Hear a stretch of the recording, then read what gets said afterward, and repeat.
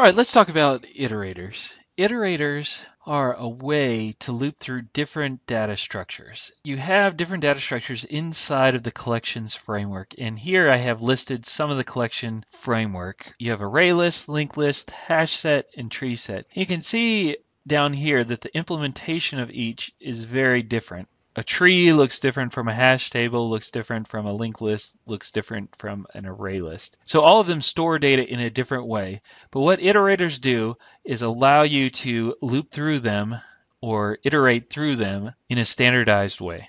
So the first thing that you need to do when using an iterator to import the iterator from the util package. What I've done here is I've created an array list. I've added four different items. And now what I've done is I've created an iterator. Iterators do not start on a value, they start before a value. So you have to think of them as in between values inside of a list. So when you create it, it's not actually on the 15, it's before the 15. And you notice when you say iterator, the name of the object here equals list, which is the name of the array list that we're using, and then iterator. You don't say iterator here equals new iterator. And the reason is is because there's different implementations for the different data structures that it can iterate through. So each one implements it in its own way. A hash set wouldn't implement it the same way an array list would. So that's why you have this kind of weird looking method, the name of the thing that you're trying to iterate, and then the method saying iterate. So it's kind of a little different syntax than what you're used to.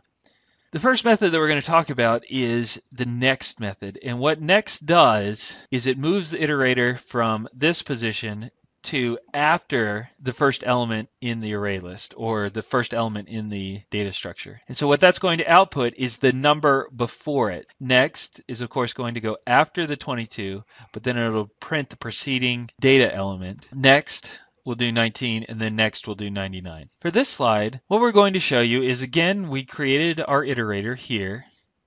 We're going to iterate it once. Notice we didn't do system out print line, so it's not going to output anything. We're going to go next again, so we're after the 22. And then the other method that we're going to talk about is remove. And what remove does, it does not remove the next element, it removes the preceding element, just like next would print the preceding element. When we remove it, it's going to take it out of the array list. And now we have an array list with just three elements in it. What I've done here is I've created an array list with string values, so come as you are. And then I create my iterator, and then what I want to do is here.next, I want to say is equal to the string. So I want come to be stored in string. But the problem is that is going to result in an error. The reason why that is an error is because iterators store objects, store and return objects. So in order to pull this out and say it really is a string, I would have to class cast it as a string and then it would be able to store it and then it would print come. The better way to do it would be to use a type parameter right here. And the type parameter string indicates that everything in my iterator is going to be a string. That way, anytime I try to pull information out of the iterator, it's not going to come out as an object. It's going to come out as what I specify right here.